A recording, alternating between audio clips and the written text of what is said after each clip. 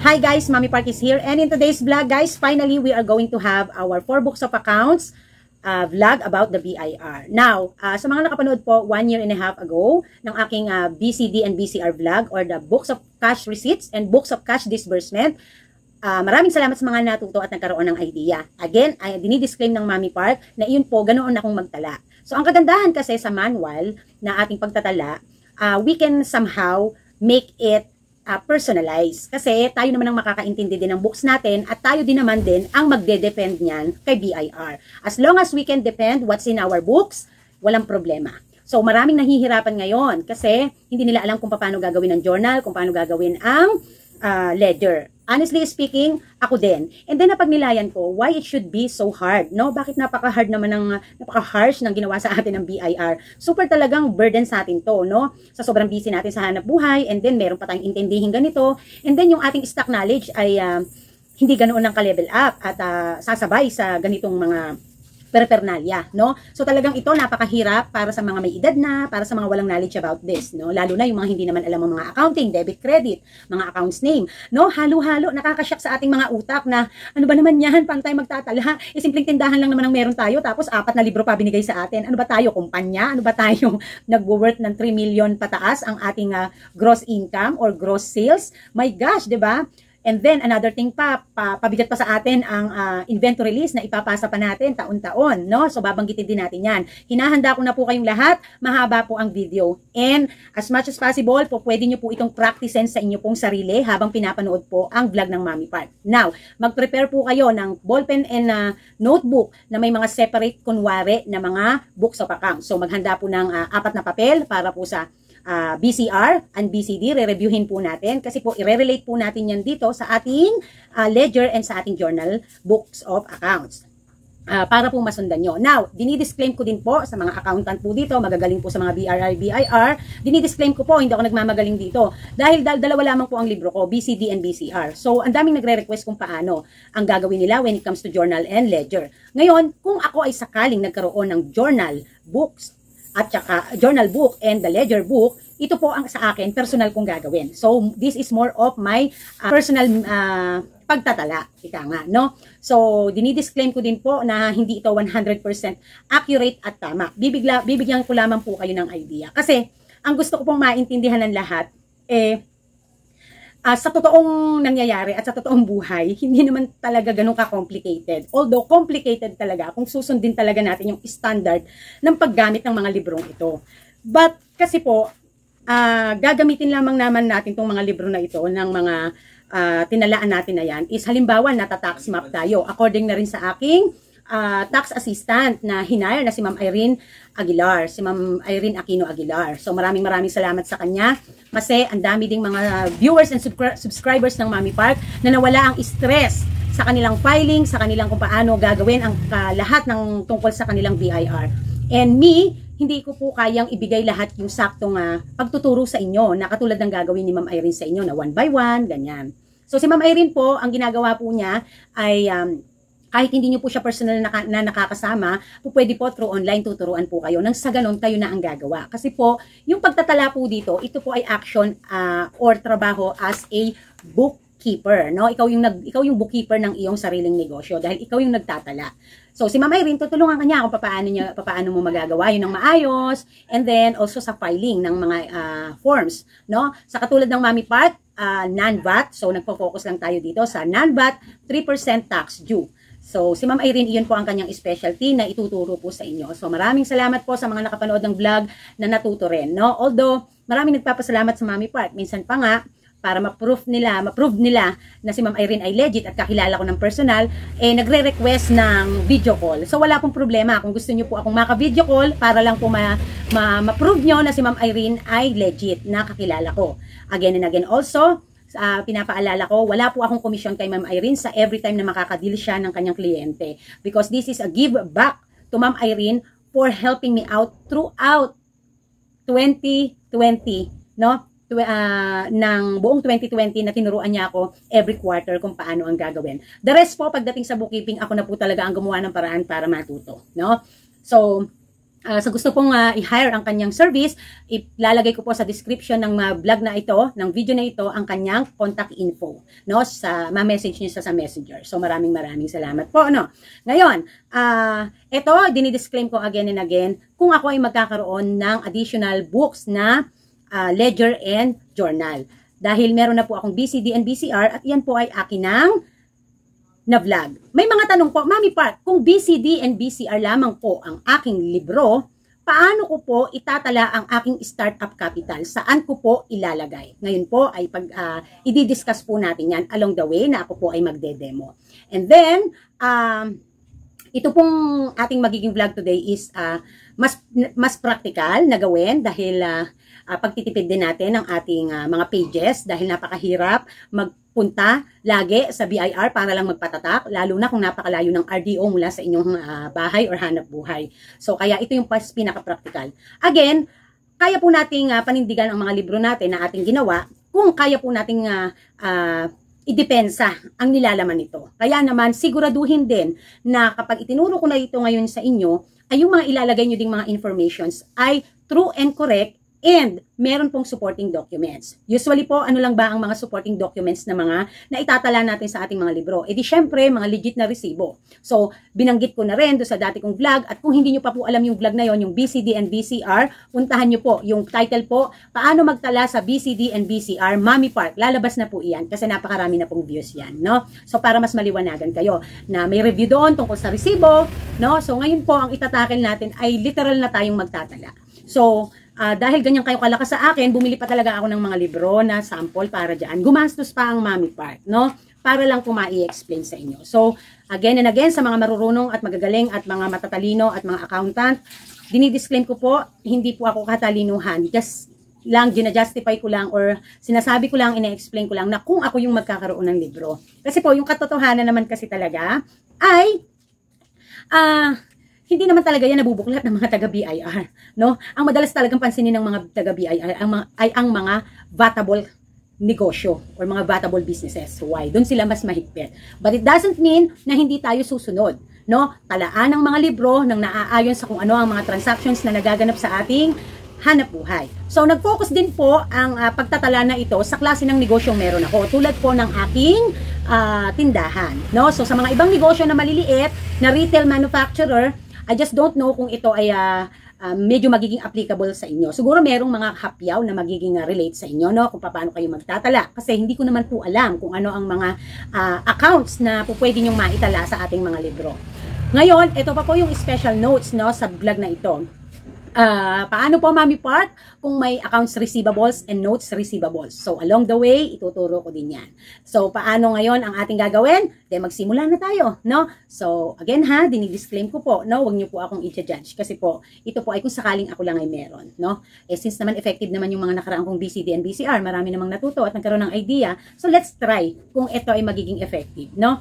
Paghahanda lang naman din kasi ito guys, para kung sakaling ang inyong lugar ay natatax ma. So para merong makita na meron kayong tala, no? Para din makita na kayo ay updated. Usually naman bago bago bisitahin ang inyong mga libro, ay yan ay titingnan muna kung kayo ay nagfa-file. Ang uunahin yung ipapakita ay kung updated kayo nagfa-file ng 2551Q, 1701, 1701Q, 1605, no? So yan, no? 1605 kasi 'di ba pagka uh, nagre-renew tayo ng ating uh, COR taon-taon which is pwede na natin gawin yan or bayaran sa GCash. Okay? So ako ganun din sa GCash na lang lahat ng transactions ko when it comes to payment.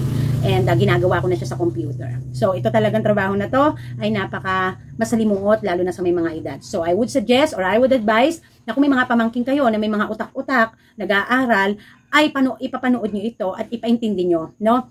Uh, sipagan, uh, sikapin yung sila ay matuto ng ganito para sa kanila na lang kayo magpapagawa. Mabibigyan nyo pa sila ng extra income, extra sideline pambaon, no? So sa mga nag-aaral ng mga colleges, lalo na kung kayo ang course nyo ay accountancy or kaya naman ay uh, business administration, no, yung um, management tulad ng tinapos ng Mami Park. So, maganda to kasi paghahanda ito sa inyo dahil ito na yung totoong nangyayari. Dati kasi guys, nag-aaral ako parang hindi ko iniisip. Hindi ko masyado sineryoso ang accounting subject. No, makapasa lang, honestly speaking.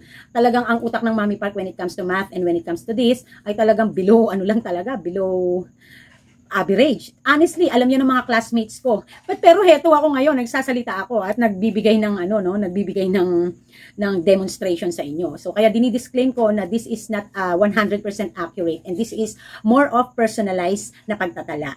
All, although we still uh, somehow use the uh, standard way ng ating uh, paggamit ng mga librong ito. Okay, let's start na. Daming yaw-yaw ng mami. No? Ganun talaga, mag-TTS na makikinig. Kasi kapag ka kayo excited at hindi nakikinig at hindi iniintindi muna at bigla kayo nag-i-skip, mas doon kayo mapapahamak, mas doon kayo hindi makakaintindi at matututo. No? Kung may mga mali kay Mami Park, pwede naman pong mag-comment po dyan.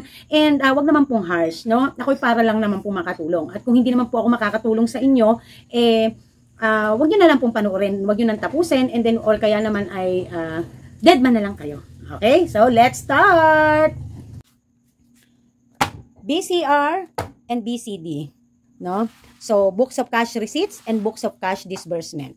Perang papasok, perang palabas. So, ito po ang ating review, no? Ito po ay mula doon sa dati nating vlog. Okay. So, books of cash receipts, ano bang mga nilalaman ng books of cash receipt? Receipts. Nothing else but only your sales na ginamit mo ang iyong resibo, yung legit mong resibo na pinaprint mo, no? Yung authorized.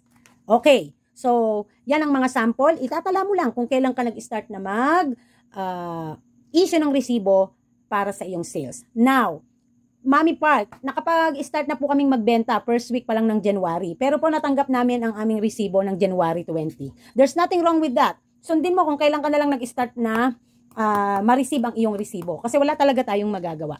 No? Para namang mas napaka-unreliable naman or untruth, untruthful kung nagkaroon tayo ng resibo nang hindi pa naman natin talaga na-receive ng ganong dates. O de, ibig sabihin, well, uh, ang totoo naman talaga kapag hindi tayo nakakapag-issue ng resibo at hindi nang hihingi si Tomer, gumagawa na lang tayo nang sa ganun ay makadeclare tayo. Kesa naman wala tayong ma-declare at all. But I would advise sa mga bago na nakapag-apply ng kanilang mga business permits or tax or BIR, sundin na lamang po ang inyong kung kailan natanggap ang resibo para mas safe, mas okay. Okay? Ngayon, Mami Park, eh paano naman po yung expenses po namin na binili bago kami nagsimulang magtinda ay hindi po January 20 which is doon namin na-receive ng araw na yon yung aming resibo. That is okay. No, walang problema doon. So kung napapansin nyo, nakatala dito nung January 20 or anumang pan-date yan kayo ano, nagkaroon kayo ng uh, uh, ito ay 100,000 halimbawa na inyong startup capital. Tala nyo lang, no? Basta itala nyo lang para meron lang kayong uh, reference, okay? Ngayon, dito tayo sa BCD.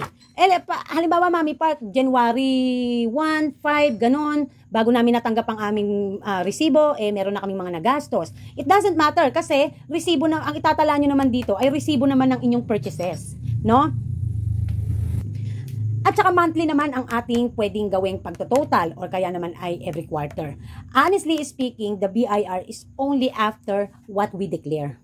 Lalo na kung uh, tayo ay ang ating declared na deduction, uh, 'di ba? Ano tayo? Uh, graduated tayo, 'di ba? Tapos ang ating declared na deduction ay let's say for example ay itemized. There's no problem with that. Mai-declare niyo pa rin per items or per per resibo na inyong nagagastos. However, ang case ng Mami Park, ako po ay optional standard which is 40%. Mag uh, umabot man less than 40% man or more than 30% man ng aking uh, gross sales, wala nang pakialam si BIR doon. Basta 40% ang automatic magkakaroon ako ng deduction. So that is why na hindi na sa akin messy ang magtala sa BCD. Gawa po kasing magtatala lang ako ng magtatala kasi umover man yan or or less than 40% man yan ng aking gross sales, wala nang pakialam si BIR doon. Kasi nga, ang inapply ko ay optional standard na 40%. No? So, yun ang kagandahan. Ang advantage ng ang pinili mo ay 40% rather than itemized. Now, disadvantage ng itemized, eh, disadvantage ng 40%. Kung umover, laging umo-over sa 40% ng iyong gross sales, ang iyong gastos, 40% lang ang pwede mong i-declare kasi yun yun lang ang uh, yun ang iyong deduction. But if umo uh, lume less than 40% ng iyong gross sales ang iyong mga expenses ang uh, ang ipapadeduct mo kay BIR eh uh, ano sa iyo yon pabor no which is which ano man ang pinili mo uh, given na yan ito naman yung kasing gagawin natin so sa BCD isulat lahat ng iyong mga purchases na legit na merong na isyong resibo. So, et, ayan. Okay. Tutok natin ng konti. Sumasayaw ang aking lamesa, guys. Napakahirap po talagang mag, ano, mag-vlog ng ganito. Okay. Ah, uh, nag inote mo din sa startup capital mo kung kung magkano ang iyong inano uh, ini startup capital. So, halimbawa, um, 100,000 ano. So, ayan, nilagay na natin. So, eto, merong ano, merong akong special notes. Doon sa mga nag-start na na nakaisang taon na, tapos nag-inventory list na. So, I would suggest na yung uh, dineclare nyo sa inventory list nyo, dito nyo ilagay. Dito nyo ilagay sa inyong uh, ah, BCD or Books of Cash Disbursement. Kasi, yan yung mga yan yung parang natira nyo, di ba? Na halimbawa lang ah, yung natira nyo na inventory. Diyan nyo na lang ilagay para mas maganda, para hindi nakakalito. Kasi uh, make sure nyo na lang na yung inyong BCR ay puro sales na lang doon. Okay? Hindi naman kasi natin mailalagay din yung ating uh, startup inventory doon sa dineclare nating inventory list taon-taon doon sa BCD, ay sa BCR, sorry, sa Books of Cash Receipts. Kasi hindi pa naman, hindi naman yung sales, inventory yon So dapat dito na lang natin sa BCD o Books of Cash Disbursement itala. Inote lang natin. Again, uulitin ko doon sa mga nakailan, nakaisang taon na, dalawang taon, uh, yung ano ba ang silbi, ano ba ang gamit nung ano nila, nung kanilang nung kanilang inventory list na dineclare kay BIR na nagpasa sila, 'di ba? Sworn declaration and inventory list. Dito niyo na lang itala sa BCD nyo. Kung ang inyong libro ay dalawa lang, kung BCD and BCR lang. Okay? So, let's move on. Let's, for example, bago kang negosyo, ganyan. O, meron kang nilabas na 100,000 para puhunan. So, ano ba nilalaman ng BCD? Of course, again and again, ayan, yung iyong mga pinamili. O, January 2, halimbawa, bumili ka ng shelves. January 3, materials for renovations. May SI number or sales invoice number. Ilagay mo kung saan mo nabili at kung legit ang resibong nakuha mo. No? So, ayan.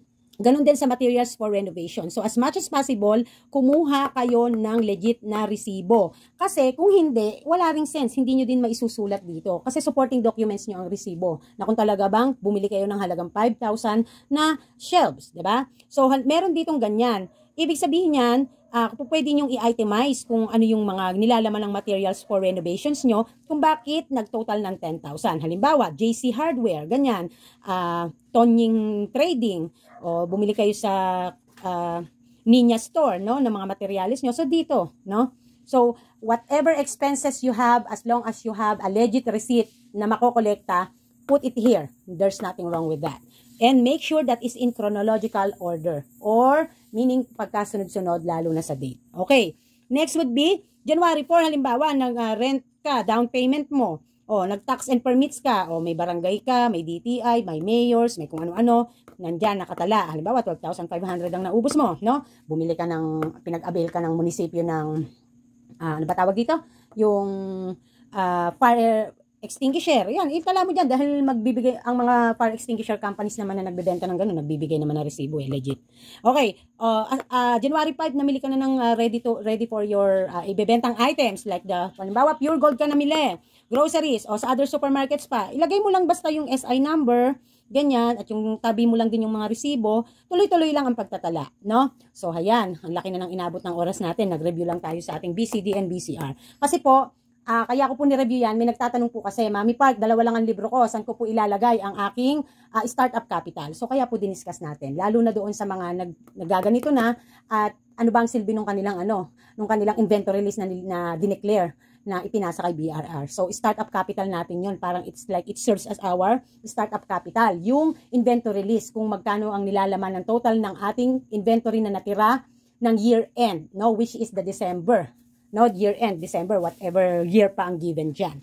Okay, let's move on to our journal notebook. Okay, journal notebook. Napaka ano sa akin ito talaga. Critical, no? Alam nyo, napiga talaga utak ko dito. Kasi iniisip ko, oh my God, in chronological order. Ito daw yung ating parang diary na itatala natin yung araw-araw na nangyayari sa ating store. The original entry. Ito yon kumbaga, no? So, ibig sabihin ba, ang BCD and BCR hindi original? Ganun ba yon? Eh, kung dalawa lang ang binigay sa'yo, kung ito lang na libro. Alam nyo po ba, hindi kayo maniniwala, kung ano nandito, halos nandito din. ba? Diba? So, ito, hindi ko maintindihan kung bakit ginawa pa sa atin ni BIR to. Sa totoo lang. Nasamantalang eto lang BCD at saka BCR, eh para na rin nating ano yan, para na rin nating uh, diary or parang in chronological order din naman ang nire-record natin dito. So, hindi naman tayo pwedeng mag-record dito ng hindi pagkasunod-sunod din. So, hindi ko maintindihan kung bakit meron pang journal. Okay, ang hirap, journal. Ayan na naman. Papasok ang accounting, subject, ano, debit, credit. So, sa mga nahihirapang mag-debit and credit, ito po ang solusyon na po pwede kong mai-suggest sa inyo para hindi kayo mahirapan. Ngayon, gumawa, gawin nyo po, the moment na natanggap nyo po ang inyong books, wag po muna kayong magtala para hindi kayo basta magkamali. Kasi uh, pag nainis din ng mga RDOs or ang BIR na puro bura-bura ang inyong libro, eh baka mamaya eh, penaltyhan na lang kayo. So mas magandang malinis pa rin ang inyong books of account. So I would suggest wag munang sagutan. Ipunin muna ang lahat ng mga uh, nangyayari. So maaaring kung may BCD and BCR, ito ang unahin yung talaan. Dahil ito ang everyday talaga, no? Everyday papasok ang resibo, everyday papasok ang sales, everyday papasok ang gastos. So kaya dito kayo magdepende. Kung ano ang nandito, ipasok nyo na lang dito. Although according to the to the uh, meaning of journal, this is the original entry. Honestly speaking, sa totoong buhay hindi nangyayari 'yon. Hindi natin kayang magtala ng maya-maya. No? Ubus agad ang libro natin. No? Uh, hindi tayo pwedeng manghingi ng isang libro lang. Da, para hindi tayo pabalik-balik kay BIR, eh dapat humingi ka at least tatlo pauna na kung gagawin nating journal. Ngayon, ito ang pwede kong maisuggest sa inyo nang makatipid kayo sa pages. Okay? Let's go here in, ayan, particulars, lalagyan po, meron po itong dalawang column, this is the debit and credit, date, particulars, so ano yung mga nangyayari, uh, sales invoice number, debit, credit. Okay, para maintindihan, debit, credit, para lang din po yung BCR and BCD perang papasok, perang palabas. So, laging tatandaan, lahat po ng papasok na pera sa negosyo at lahat ng sales na papasok para sa negosyo, naka-credit. Lahat po ng lalabas na pera mula sa negosyo, naka-debit. So, kaya ko po sinasabing, wag nyo po munang sagutan to. Kasi mas maganda pong dito, kung ano na lang po yung naitala nyo dito araw-araw, yan po ang ipasok nyo dito. At gawin nyo pong monthly ang pagtatala nang hindi kayong mahirapan. Mas mahirap po kasi kung araw-araw no? Talagang 'yun ang totoo. That is the ano, that is the uh, reality na nangyayari. Napakahirap hanggang ngayon po. May mga negosyo ang lalaki, walang kalaman-laman ang kanilang libro. Hindi nila alam ang gagawin nila. Pero nakaka-comply kay BIR, no? Ngayon, ano ang uh, ano ang disadvantage or consequence nito? Pag po nagsara ang negosyo, ano ang ano ang isusurrender? Walang laman. 'Di ba? So yari. Eh lusot na sana kasi titingnan na lang kung may open cases kayo. Eh madadamay pa pati libro nyo dahil wala man lang kalaman-laman. So hanggat maaari, buwan-buwan magtatala kayo. No, at least may maipapakita kayo. At kung sakaling uh, mainit sa mata ang negosyo nyo ay natatax map, at least meron kayong ididepensa. Okay? Uh, ito pinaka-importante talaga. Merong nag-question po dito, uh, kaka-fresh lang po na question na tamang-tama magbablog ako. Uh, in-screenshot ko na lang. May nag-question po sa akin ang sabi po, uh, Benedict Pontepedra. Sabi niya, Hi ma'am, bakery po ang business namin. Medyo lito ako sa journal at ledger. Yun lang po nakalagay sa 1905 namin. Wala naman pong iba. Sinabi, paano po kaya mag-entry dito. New business po kami ma'am. Kaka-register lang sa BIR ngayong araw. O napakaswerte talaga nitong si Benedict. Ano? Sakto namang nag-vlog ang mami. Okay. So dito po, in chronological order daw. This is the original entry in chronological order. Okay, meron tayong date, meron tayong particulars, or yung kung ano man yung uh, nangyari. Meron tayong uh, supporting documents, uh, sales invoice, no? Isusulat natin, and then debit and credit. So, ipunin lahat ng inyong uh, gastos ng cash na pumasok, ipunin ang lahat ng uh, expenses na merong legit na resibo. Usually, dito nakukuha yan. Okay. Mami Park, bakit ganon? Baliktad kang mag-explain. Di ba yung nandito sa journal, dito nakukuha yan? Bakit ngayon ikaw iba? Yung nakukuha dito, yun ang ilalagay mo dito. Kasi po, honestly speaking, eto lang BCD and BCR, dapat sapat na eh. Kasi in chronological order din to, nandito talaga ang transaction dahil ire-record mo. Eto, hindi ko maintindihan kung bakit magdi-dear diary ka pa. No? Napakahirap pasakit sa totoo lang. So let's be honest here. Let's be let's be realistic here, no? So kung may ganito ka, mas maganda. Pwedeng ito na ang pagdependehan mo at saka ka magtala. Ngayon, kung sakali namang wala at according to Sir Benedict, meron lang sila ay ledger at saka journal, it's alright. Ganon, ganito ang gawin. No? Kung halimbawa, para hindi ka mahirapan sa pagtatala, make it every week. No? Okay, lahat ng iyong cash na papasok, ilagay sa credit. Lahat ng papasok na expenses, ilagay sa debit. Okay, startup capital, 1,000 ay 100,000. Ah, kita nyo yung kanina doon sa ating BCD, handito ang shelves, materials for renovations. Po pwede nyo pong i-classify yan or i-itemize. Kung wood, JC Hardware halimbawa, Tonyo Trading, kung halimbawa yung kanilang sales invoice na binigay sa inyo ay merong uh, Ayan, number, you know, may sales invoice ilagay at yung amount. So ito po kung makikita nyo, total lang po ito nung tat nung ito, nung materials for renovations. So dito tayo magpo-focus. Kaya ko lang po kinlose parenthesis yan kasi baka po mamaya ma-i-add nyo kasi ito eh. Dapat po ito lang. May nakalagay ako dito total, 'di ba? So 10,000 ang ating nagastos. Ito nasaan to? Yung materials na yan, nasaan yan? Heto, no? Heto yan sa inyong BCD. Ayan no, andyan yan sa BCD. January 3, January 3. Oh, materials for renovations, 10,000. Oh, nandito rin yan.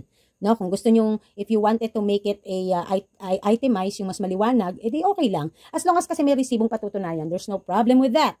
Okay, number 4, January 4, rent and down payments. Ayan, lagay din kung may uh, kung may sales invoice, may resibo. Mami Park, ito tanong. Wala naman pong ini-issue resibo po si ano, si si inuupahan namin kasi hindi naman po sila naka BIR, naka hanggang mayors lang. O, edi alam mo na gagawin, wag mo na lang ilagay. Wala kang choice. No? Eh kung sabihan ka pa ng may-ari ng apartment or may-ari ng establishment, eh yun, yun ako eh. Hindi kung ayaw, kung, kung pipilitin mo ako sa gusto mong mangyari, lumayas ka diyan. No, umalis ka diyan. Huwag ka diyan magnegosyo. Dahil wala akong i-issue talaga sa iyo. No? So, sa itemize ang kanilang uh, type of deduction, hindi nyo ma-declare. Wala kayong magagawa. And even sa 40%, wala, hindi din ma-declare kasi nga walang legit na resibong mailalagay. No? So, kaya, kung meron lamang na binibigay ang inyong landlord na uh, legit na resibo from, na may resibo talaga na authorized from the BIR, edi ilagay nyo, i-declare nyo. Kung wala, wala. Huwag ka nang ipilit, no? Wala tayong magagawa doon. Huwag nang ipilit ang hindi dapat ipilit. Okay? So, tax and permit. Siyempre, di ba? Sama yan sa mga gastos mo. O, oh, ayan. Di ba? For, ito yung sa BCD natin. O, for 12,500. O, eh, ilagay mo dito, no? Kung gusto mo, i-itemize mo lang kung magkano lahat yan. Nasa sayo. No? But, ang ating purpose din also dito ay para makatipid tayo ng pages. Okay. Number 5. Pure Gold Groceries, di ba? Nasa BCD mo yan, Pure Gold and Groceries and others. Declare mo dyan. Halimbawa, 327 ang kanyang uh, sales invoice number. O, di-declare mo din dyan, no? Ayan. O. Tapos, 10. Nagkaroon ka ng sales. Ito, pinaka-importante. Kasi para makatipid tayo sa space, no? 'Di ba? Meron tayo dun sa ating uh, books of cash receipts, yung uh, libro ng ating mga ano, libro ng ating mga sales na which is gumagamit tayo ng resibo natin na authorized na resibo na ini-issue natin kay customer, sales natin yon. Tingnan nyo, pansinin nyo to. ba diba? Ito, naka, nakaayos yan. Talagang as in 1, 2, 3 ang sales invoice na ibinigay natin kay customer. At sa bawat sales invoice ay meron corresponding amount. Dito sa journal ko, ang inilagay ko, SI number or sales invoice number 1 to 3. Total, 9, 900 lang to guys. 900, no? Total 900. Kasi ito, oh, 900 to eh. 'di ba? 7 plus uh, 4, ay 5 plus 4, 9. 900. Para makatipid. Para makatipid sa space, para makatipid sa pages. You don't have to make it complicated. As long as mapapatunayan mo, madedepend, madedepensahan mo ang libro mo, there's nothing wrong with that. Sabi mo, eh, nagtitipid po ako kasi, kasi po ano eh, uh, sobra pong gastos sa ano, sobrang gastos po sa pages, eh, Isipin nyo po eh, kung araw-araw ko pong tatalaan yan, o de, kung i-itemize ko pa lahat itong 1 to 3 na to, eh, de napakagastos, nandito na agad. So, ginenyan ko na lang po yung aking uh, na resibo na inisyo kay Tomer ay uh, ah, 1 to 3 at ang total po ay 9. At makikita naman yan doon sa mga resibo mo. No, dahil may kopya ka naman ng resibo mo. Ang ibibigay mo kasi kay Tomer, 'di ba? Ay uh, official receipt niya tapos yung sayo yung kopya mo. So, ganon. Okay? O, 'di ba? So, ganon lang. Tala ka lang ng tala. Now, ito tanong. Next naman pala. So, tandaan ha, ayan, ganyan lang para madali, hindi ka mahirapan. Lahat ng papasok na sales ng pera kay store, credit. Lahat ng expenses, debit. Okay, ngayon, Mami Park, paano po pag may mga notes payable? Paano po pag may mga accounts receivable? Sa tindahan ba natin, inaano pa ba natin yan? Kung may utang sa'yo si Tomer, at hindi naman din mo niresibuhan, edi wag mo ni-declare. Hindi mo naman niresibuhan eh, tapos mahirapan ka dito. Wag mo declare. 'Di ba? Ngayon, declare mo, yung gumawa ka na lang ng resibong, resibuhan mo na lang, gawa mo ng resibuhan, at ilagay mo na lang sa kung anong date. Eh kung within the month naman or within the first quarter, there's no problem with that, 'di ba? Paano po ma'am kung mga ahente, yung mga legit legit po na ano, paano po 'yon? O de itala mo sa iyong ano, itala mo na kapag ka utang edi ilagay mo sa lagay mo sa debit kasi utang 'yon. Eh kung babayaran mo na naman ng within a month, o eh there's no problem with that, 'di ba? Kung ay paano po ma, Mami Park, uh, half lang yung bayad ang transaction, then sa ibang date pa yung another transaction. Diyos ko Lord. Para hindi ka mahirapan, i-one time date mo na lang. Ngayon, kung talagang may date sa resibo, there's no problem with that. Basta gastos, i-debit mo. Basta pumasok ang pera, i-credit mo. No? Ngayon, Mami Park, talaga bang ang accounts name ay accounts receivable and, and notes payable? Pwede mo naman palitan yan. Malboro loan or kaya halimbawa, uh, uh, halimbawa lang ha, uh, i-declare mo si Malboro, ang pangalan ng ahente mo doon, halimbawa, Malboro Bert, uh, uh, what you call that, credit. Credit sa'yo, no? Credit sa'yo. So, napakadali lang. Para hindi ka ma-stress, hintayin mo na lang makatapos kang mabayaran yon saka mo na lang siya in, i, ano, itala. Ngayon, kung may dates kasi in chronological order, 'di ba? In chronological order. O de, ang gawin mo, halimbawa ako ha, ako to, halimbawa, oh, nag, ah, bumili ako ng ano, bumili ako ng ng Malboro, halagang 20,000. O de debit kasi expenses 'yon, 'di ba? Oh. Wala na akong ilalagay sa credit kasi mabebenta ko naman 'yon.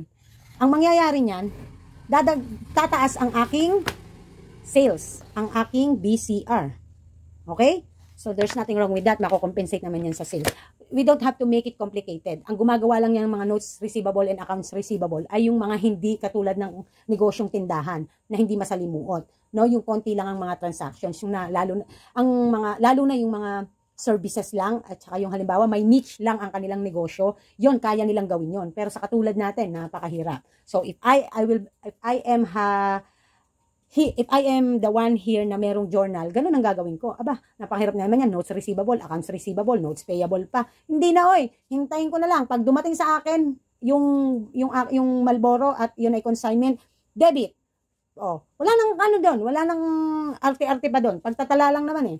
There's no problem with that. As long as itinatala din natin yan sa ating BCD, no? O sa BCD mo, itatala mo din yon na ikaw ay uh, gastos yon. Okay? Walang problema diyan. Now, Mami Park, eh paano po 'yon? Mado-double entry ka kasi kung uh, kung in-entry mo na dito, eh tatapos magbabayad ka. Eh kung babayaran mo rin lang naman, wala namang problema doon. Isang isang libro na lang ang lagyan mo. Ito, ay dalawang libro na lang. Ito at isasalin dito. Wala namang problema 'yun eh. Kasi nga magiging baligtad nga tayo. Kung ang talagang in nature ay kung talagang ang in nature ay yung nandito ay inililipat natin dito, ang gagawin natin, yung nandito, inililipat natin dito para hindi magulo at hindi maaksaya sa pages. As long as meron ka naman patutunayang mga resibo, there's nothing wrong with that. Huwag ka nang masyadong maarte dyan. As long as may dedepende mo naman ang yung libro, walang problema dyan. Okay? Okay. Alam ko na intindihan nyo, nagagets nyo. Okay. Let's move on to the ledger. Ayan. Ledger tayo, guys. Okay, ano ba nilalaman ng ledger? Tingnan nyo to guys. So ito guys, po pwede yung mga gagamitin yung accounts name, pwede dito. O, halimbawa dito, C, cash. O, employee salary, halimbawa lang. O, utilities, letter U. Ayan, letter U, utilities. O, sales, no? Ayan. Ngayon, eh si sales at saka si cash magkasama yan eh. ba? Diba? Magkasama yan sa isang entry. Okay, ganito gagawin. O, halimbawa, ganyan. Okay, lahat ng cash, pagsamasamahin mo, Halimbawa, date, January. Okay. Oh, dito cash. Oh, lahat ng cash mo, no? So ano ba mga cash mo? Uh, yung 100,000 mo, ano ba 'yon? Debit, credit. 'Di ba? Kapag ka papasok, uh, naka-credit, oh, 100,000. 1 2 3. May sales ka. Mm, or revenue, pwede revenue ang pangalan. Oh, magtatagalog ba tayo dito? Oh, benta, kita. wag na. Sales revenue, pwede na yon. O, halimbawa, meron kang ki, uh, sales na 50,000. O, so pagsasama-samahin mo lang siya lahat. Ngayon, punta ka, may another accounts name ka, expenses. O, ganun lang naman yun. O, ano ba ang ano mo? Uh, expenses. O, ilagay mo lahat diyan, utilities. Ano ba yung mga utilities mo? O, kuryente, ganyan, ganyan, sa uh, permits, ganito, ganyan, ganyan. Ang ibig sabihin po kasi ng ating columnar ay ledger, ito po ay yung summary ng lahat ng mga naging transactions natin kung anong mga klaseng transaction to. Kaya po, gumagawa po tayo ng ganito. Pinagsama ang lahat ng mga cash na, na pumapasok, pinagsama ang lahat ng mga expenses, pinagsama lahat ang kung ano ang mga magkakapatid, magpipinsan, magkaka-relative. So, dito sa ating tindahan, hindi na, we don't have to make it complicated. Kasi po pwede namang sa expenses, ilagay na natin lahat ang expenses natin. At sa lahat ng cash, po pwede na natin ipasok lahat. By then, nakatala lang siya. No? So, ano ang final nito? Gagawa ka trial balance. Pag hindi ka nag-balance, ang ibig sabihin lang nun, halimbawa, bababa, gagawa ka trial, trial balance, ganyan. O, halimbawa, cash. 'di ba? Cash. O lahat ng cash na nalikong mo, halimbawa uh, ah, 150 o lahat uh, expenses. O expenses, ba? Dito 'yang gawi kasi debit ay credit, debit, debit ang expenses. O dinalagay mo lahat dito expenses. Tapos magta-trial and balance ka. Hindi ka nag-balance halimbawa. Ang kung hindi ka nag-balance, ang ibig sabihin noon, hindi mo na ipasok o hindi mo na isama yung natirang inventory o yung natira mong paninda at yung mga natira mong mga supplies. ba? Expenses din 'yon, eh may natira pa. So para magbalanse, hanapin mo yung hindi mo na itatalang nawawala sa transaksyon. Usually, yan yung mga may pautang ka, dineclare mo dito, hindi mo naman ni-notes. And then, yung halimbawa, yung natira mong pangapaninda, yung halaga, hindi mo naman ni-note. So, yun lang naman yun, kaya hindi nagbabalance. Okay? But honestly speaking, wala naman masyadong pakialam si BIR when it comes to that. As long as you can depend what's in your books, walang magiging problema. Okay?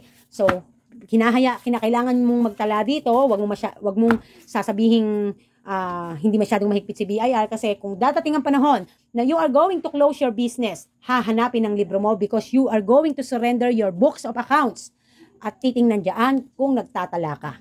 Okay? Usually sa closing, tinitingnan na nila sa system nila kung ano ang mga open cases mo at doon ka na lang nila pinagbabatayan kung may babayaran ka, may penalty ka dahil ikaw may open cases. Ano ba usually ang mga penalties? Kaya ka nagkakaroon ng open cases. Late ang iyong pagpa-file. Hindi ka nagpa-file. Tapos nakita pa hindi ka nagtatala sa mga books of accounts mo, dinagdagan mo pa na ikaw ay mabutasan ni BIR. So at least dito man lang makaligtas ka. Okay? Tatandaan, be responsible to your books of accounts. It doesn't matter if hindi mo masyadong nasunod ang standard way as long as, as long as kaya mong depensahan ito sa mag-check ng tax mapping and or pagpupunta ka kay BIR kung magko-closing ka na, ganito, ganyan. Okay? Kasi ang supporting documents mo diyan ay ang lahat ng resibo. And This is also a matter of what is your type of deduction. If you are 40% standard o optional or itemized. Okay, mas masalimuot sa itemized guys, actually speaking. That is why I, I choose the, uh, what you call that? I choose the 40%, no? So, mas favorable lang naman ang 40% kung less than 40% ng gross sales ang inyong nagiging gastos. And uh, hindi siya favorable doon sa mga more than 40% ang inyong nagiging gastos, no? Your allowable deduction, okay? So, I do hope na may natutunan ang lahat. Ayan guys, again and again, I'm disclaiming this video para sa mga napakatatalino dyan at napakagagaling. Pero hindi naman talaga nadadanasan ang actual or reality na nangyayari when it comes to everyday life of having a business na pagtatala. So, dito, kung ito ay uh, sa feeling mo, tingin mo makakatulong sa'yo, as long as you can defend your books, do it. If not, go to other uh, blogs at sundin mo ang kanilang mga uh, ginagawa kung kaya mo. No? Kasi talagang, I watch a lot of videos when it comes to pagtatala. Super complicated. As in talagang may mga sinasabi pang kung ano-anong mga uh, accounts name. Eh kung simpleng tao ka lang, maintindihan mo ba yan? Eh halimbawa, hindi naman inabot yan ng pag-aaral mo Paano mo maiintindihan? Notes receivable, accounts receivable. Oh. 'Di ba? So lagi lang tatandaan, laging tatandaan, you can make it simple and clear. At meron ka supporting documents. You can never go wrong kapag ka ganun ang ginawa mo. Okay? So this is Mami Park and this is Team Park. Thank you everybody for listening and thank you sa mga natuto. At salamat sa mga nanood. Ang aking BCR and BCD uh, uh, video last year pa, the other year pa ay na, nasa 40k views na yata. And nap, isa ito sa video na napakaraming nag-subscribe. Maraming maraming salamat po sa uulitin po. Kung may mga katanungan po kayo diyan, may mga violent reaction kayo diyan, okay lang po. As long as hindi nyo po ako ha. Okay, bye! Mwah!